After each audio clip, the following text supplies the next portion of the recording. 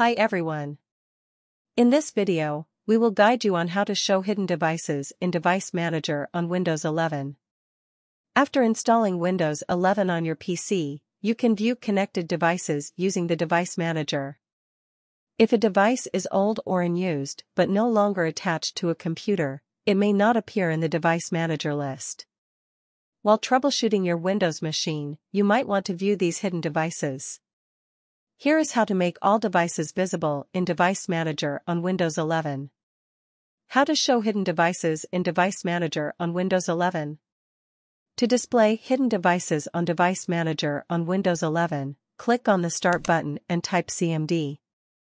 In the available search results, right-click click on the command prompt entry, and select Run as Administrator option. Then, copy and paste set dev underscore show underscore non-present underscore devices equals 1 in the command prompt and press enter key on the keyboard. Please note, you can copy this command from this video description.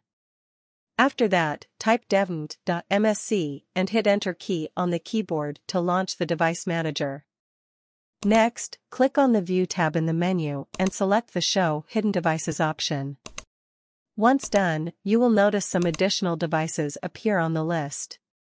Now, you can troubleshoot your Windows or uninstall these hidden devices from your computer if it is no longer required. Once done, click on the View tab in the Device Manager and uncheck Show Hidden Devices option to hide it again. That's it. Let me know via comment how this video is. Do you like more videos? Subscribe to our channel GearUp Windows. Goodbye. See you in the next video.